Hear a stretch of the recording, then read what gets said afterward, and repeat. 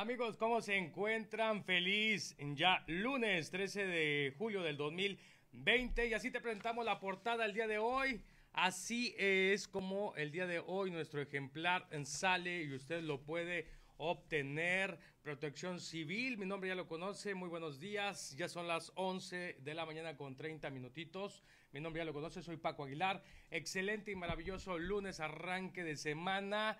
Eh, ¿Cómo le fue el fin de semana? Espero que muy bien. Se está conectando, gracias por conectarse. Lo invitamos a que comparta esta transmisión. Así, el día de hoy, nuestro ejemplar Protección Civil, pues eh, menciona que Calorón va para largo. Hemos estado viviendo una ola de calor intensa en nuestra querida capital y aún no entra la canícula. Una nota que redacta Chantal Martínez Díaz y es que alerta eh, pues Pedro Granados de Protección Civil a todos los tamaulipecos, pues eh, para no confiarse, no confiarse con temperaturas infernales en nuestra querida capital y a lo largo del estado de Tamaulipas.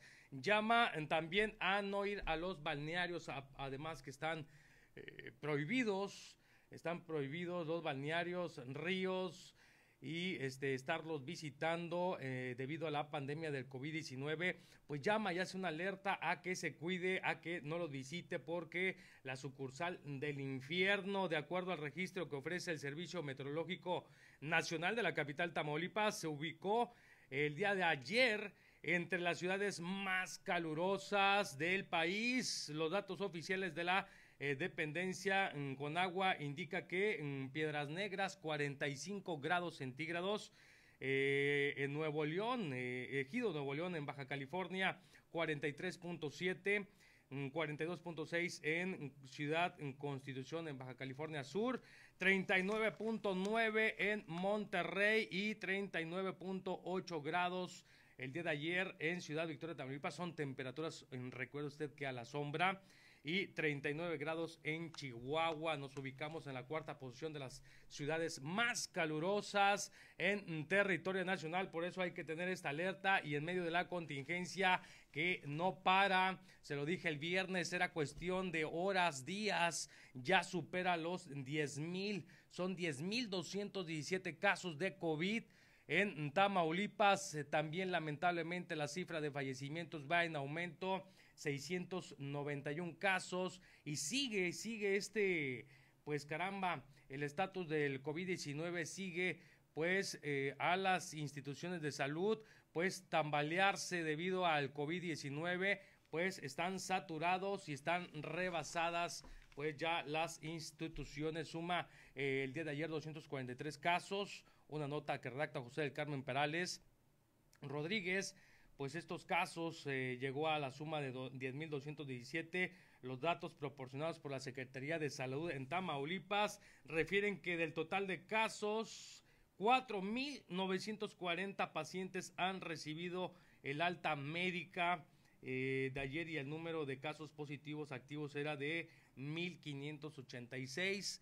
Probablemente el día de hoy rebase los 10.500 pacientes y esto debido a que también el relajamiento que hemos visto en la ciudad, además de todas las medidas que se han tomado después de las 10 de la noche, eh, los eh, de nueva cuenta los comercios esenciales, pues hemos visto, visto perdón, que la ciudadanía sigue relajándose y va en aumento el COVID-19. Hoy un, reportaje muy interesante en nuestras páginas. Alejandro Márquez, un cineasta con disciplina, este victorense de 31 años que usted ve, se enamoró del séptimo arte en la universidad. Es un ejemplo de que trabajar con constancia y nunca rendirse da da frutos. La delegada del IMSS, en otra noticia, la delegada del IMSS dio positivo al COVID, lamentablemente al COVID-19. Siguen, siguen la primera línea de fuego, doctores, siguen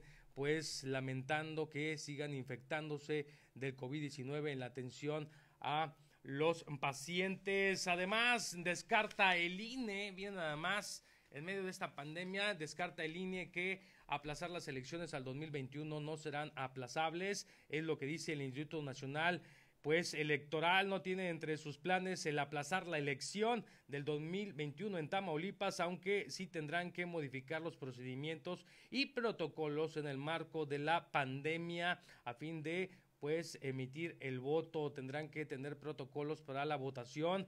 Eh, además en deportes ahí está el Vilo, el Gran Premio, mm, pues eh, el Gran Premio de México, además se tambalea el futuro de, por supuesto, del Gran Prix en México en el mítico Autódromo Hermano Rodríguez. Está en vilo debido a la emergencia sanitaria que atraviesa México. Eh, pues caramba, una de las más importantes en la historia se está tambaleando.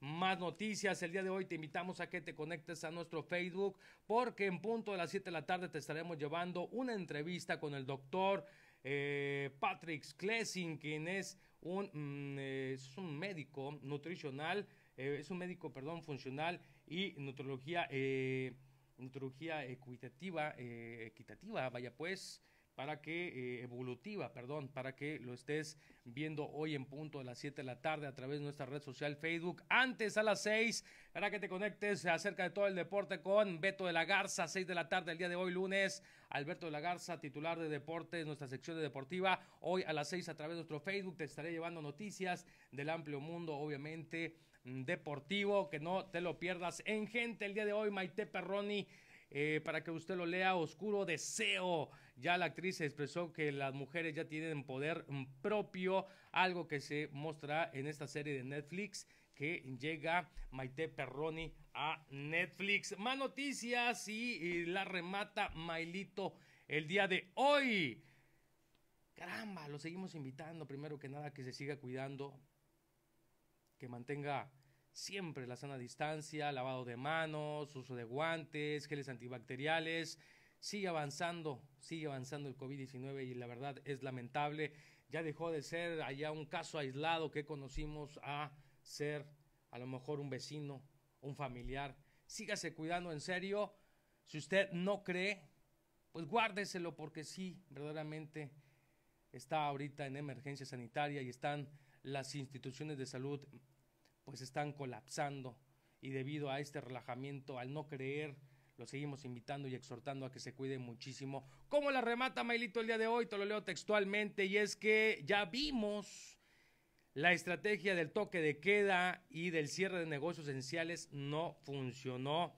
Ahora a diseñar otra, pero en lo que se las ingenian y experimentan, el COVID-19 sigue avanzando eh, pues acabando con la salud y la economía. A este paso no vamos a salir pronto, ya que la prioridad de las autoridades es la política, nada más. Sígase cuidando, en serio, cuídese, lo exhortamos a que se quede en casa, a que mantenga todas las medidas preventivas y por favor, en serio, no se relaje. Cuídense, feliz lunes, arranque de semana, soy Paco Aguilar y hoy así nuestros titulares, lo invitamos a que lo adquiera nuestro ejemplar, estamos en Facebook, Twitter, Instagram, nuestro portal web y mm, también nuestro ejemplar diario que lo tiene, puede tener obviamente en sus manos, lo invitamos a que lo adquiera, periódico El Diario de Ciudad Victoria, el periódico de los bien informados. Soy Paco Aguilar, feliz arranque, inicio de semana, fuerza, fortaleza, cuídese en serio.